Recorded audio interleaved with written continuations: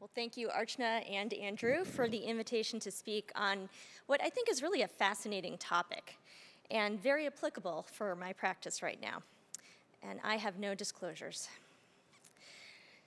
So, here are a few of the things that I'd like to touch upon in terms of objectives. Why are people starting to come in and ask us to not use mesh in their repair? And let me ask you guys, first of all, in the audience how many people do tissue repairs? How many people do them routinely as your primary repair? So, a very small number. So, how many people use mesh routinely? How many people would feel comfortable if a patient came in and asked them to do a non mesh repair? Okay, all right, good.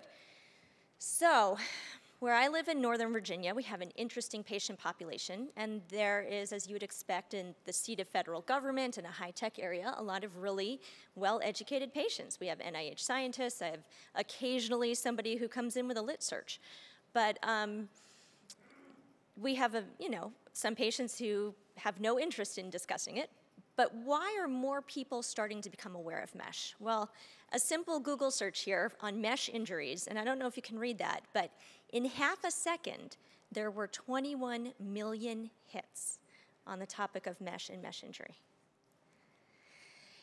And a quick YouTube search. I am not going to subject you guys to playing a lawyer commercial, okay? Like, none of us need to watch that video. Anybody who watches TV has seen that often enough. But from just the first page that pops up when you type in mesh lawyer, you get a lot of hits, right?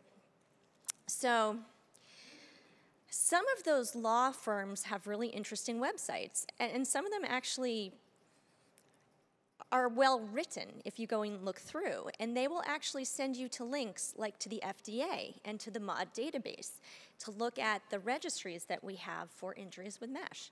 So a patient who's really researching this will get led to the medical device recalls page. And if you go through this, some of, some of them are, are kind of silly. They're sterilization errors, but as you know, there are some pretty significant recalls that have gone through. And just like we can, patients can go through and, and read about what the different um, incidents were that were record, reported and, and what's been um, taken off the market. So again, if you look at hernia mesh complications, so you're a patient out there, you're doing due diligence on going in to have an operation. I don't know about you guys, but when I get on Amazon, I can barely buy like a new water bottle because you're reading all the one star reviews and you're sitting there going, oh my God, well, you know, 60 people gave this one five stars, but 40 people gave this one this many stars, and you can psych yourself out of purchases.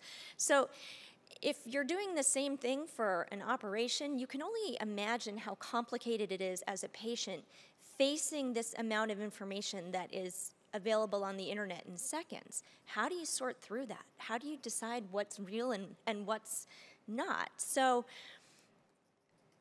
when you keep going and you dig around some more, you start finding patient advocacy pages online.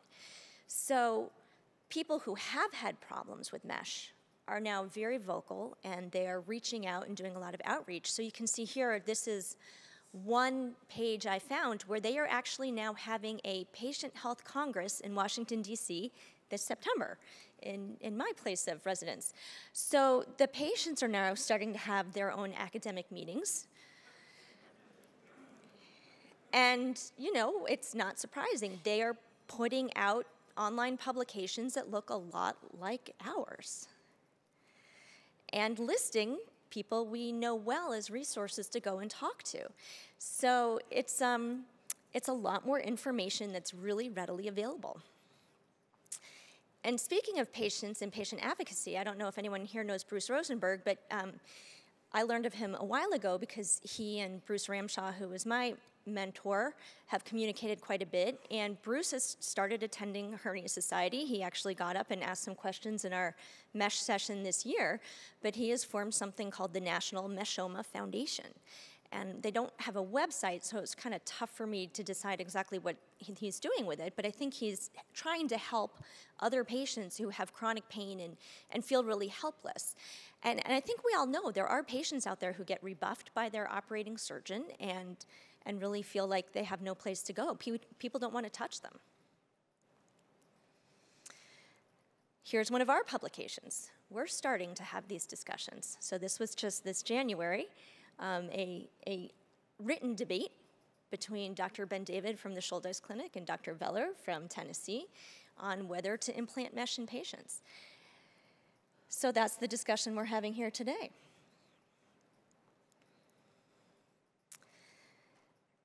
Some of our discussions aren't quite as polite, I think, as, uh, although it was a little sassy, the interaction between uh, Dr. Ben David and Dr. Voeller. What I chose not to put up is some of the interactions I've seen on Twitter and online between different surgeons, uh, which can be pretty inflammatory. And anybody who's searching those hashtags can see it. So we're fighting each other in public as well on some of these topics.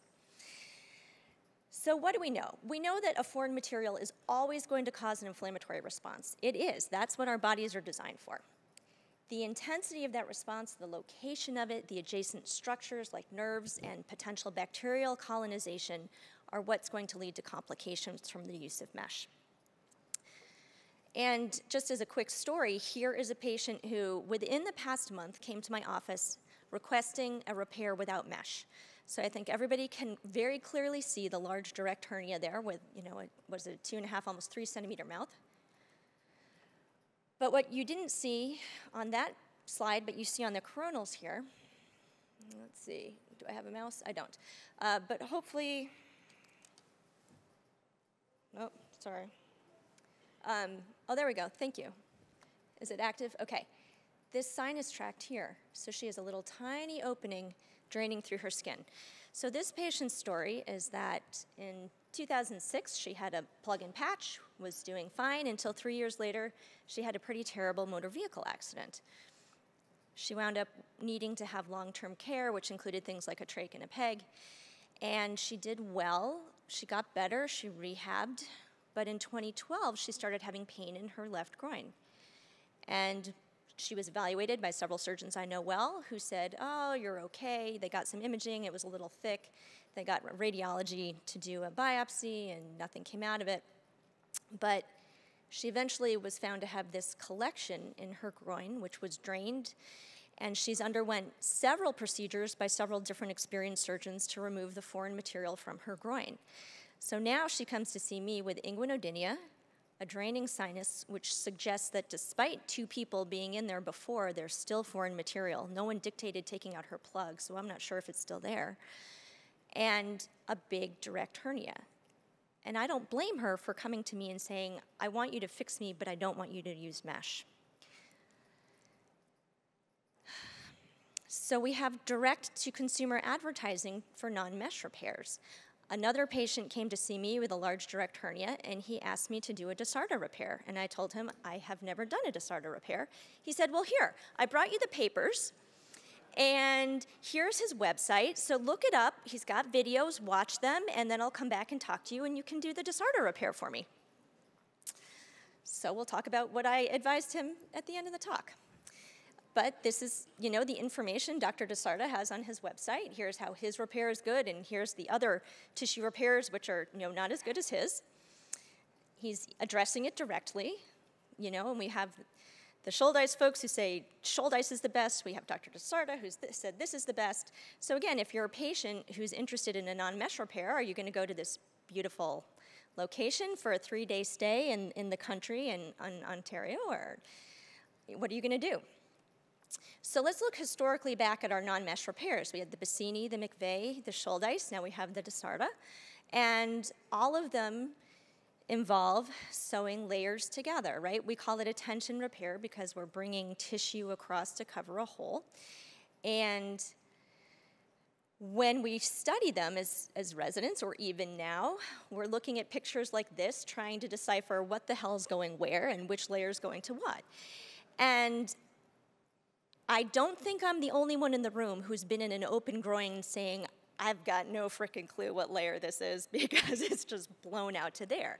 So you think about these pretty pictures and you're like, okay, I'll do the best I can, but this is not going to look like the textbook. So is there any data to guide us besides that data? Yes and no. So what I'm choosing to show you here is the results of large randomized trials because it's tough to trust a small 50 patient study. Yes, in those studies we can kind of follow people more closely, but it's really through, I think, the aggregation of data we get a better idea. But of course, these studies have their limitations. You have heter uh, heterozygosity, you know, you're not always comparing like to like. But in this study out of the Netherlands, it was a multi-center randomized trial between open inguinal repairs with and without mesh. They had an, a decent three-year adequate follow-up, and it being a closed system, they had good tracking of their patients. And you can see that about half of the repairs that they did open tissue were Bassini McVay, and then about a quarter were Shouldice, and the rest were a mix. And their Lichtenstein repair was a Prolene or Marlex 7.5 by 15 centimeter mesh.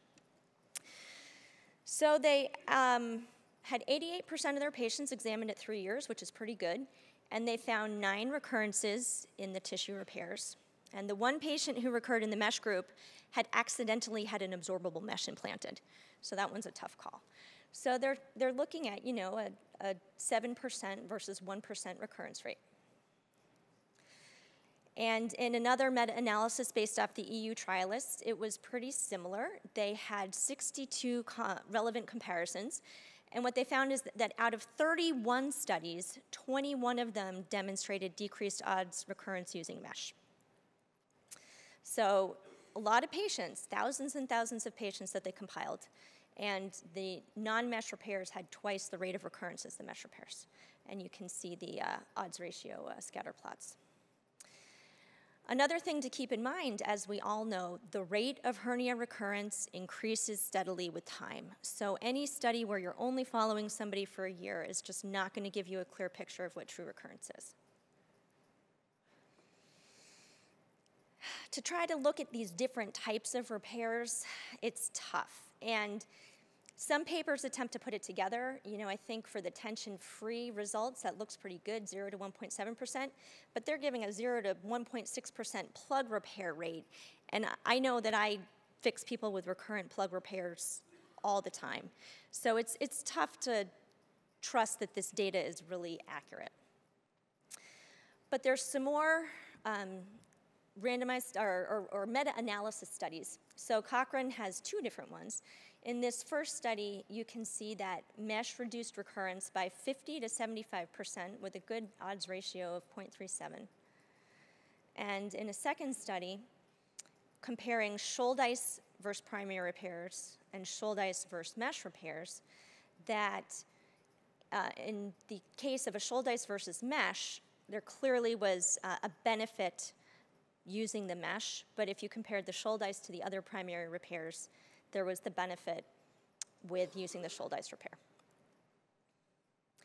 So what about the Shouldice repair? So I think we know that a lot of people are frustrated that they haven't been able to recreate the Shouldice results.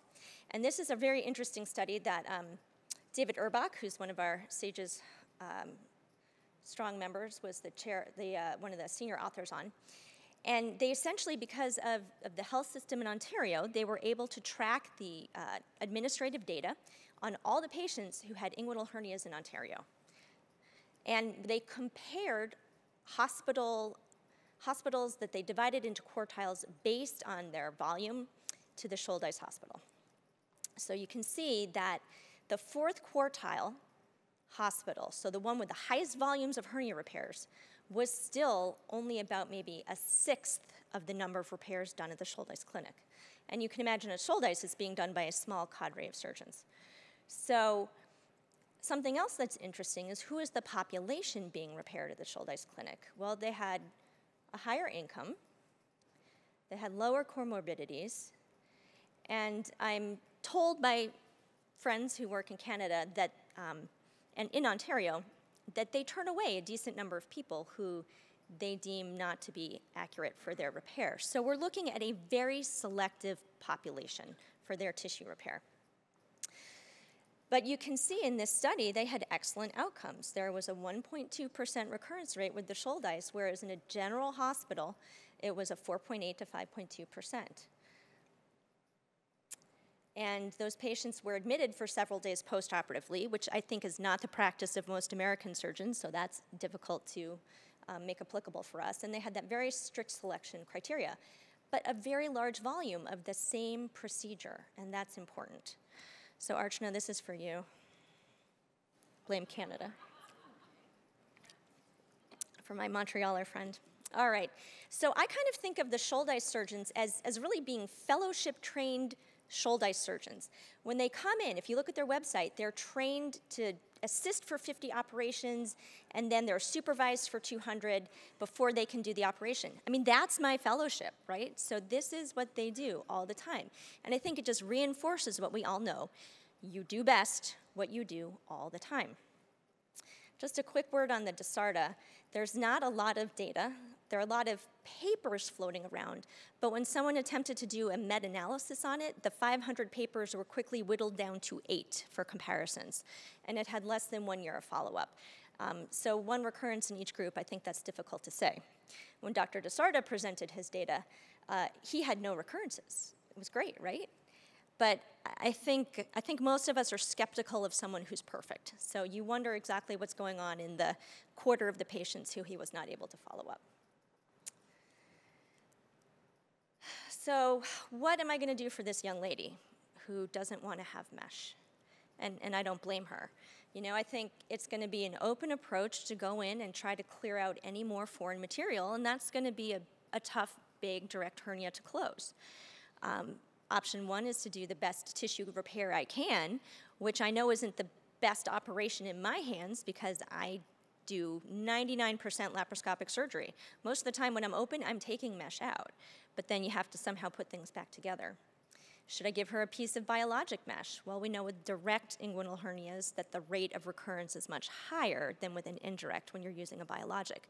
But it could get me out of a sticky situation, and maybe I could agree to her that if I feel like some buttressing is necessary, a dissolvable mesh would be acceptable to her. So those are some of the different options. And, and this is a tough case, it's a tough situation.